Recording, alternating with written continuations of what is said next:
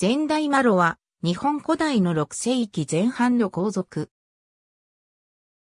聖和神。日本書紀末第18によると内前教の大魔領は直命を受け、死者を派遣し、偉人に玉を求めたが、偉人国蔵らは経営出てくるのが遅くなり、時を超えるまでに信条しなかった。大魔領は激怒し、国の宮津子らを捕らえて縛り、その訳を問いただしたという。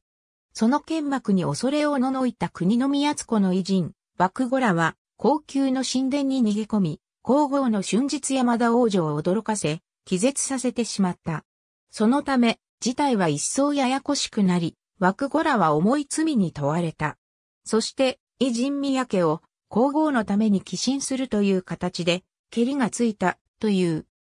この時期、宮家の設置が数多く行われているが、これは同年7月に皇后、体、天使に同じといえども、内外の名ことに隔たる。また、モテ宮家の地を当てて、式手、故障庭を立てて、広大に後を残すべし、わけ、宇治谷武と天皇が言われ、直視を使わして、領伝を創し求めたという出来事と関連がある。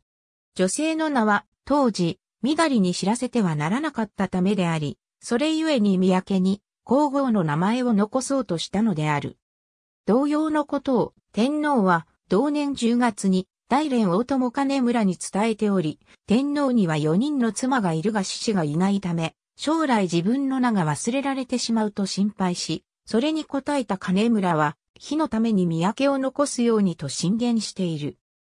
これらは名題、小城の民が設置されたことの説明でもあり、大王の経済的基盤の拡充と政治的権力の拡大とを示しているものでもある。全体魔領自身は内前教とあるように、苦前との関連が深いものとみられる。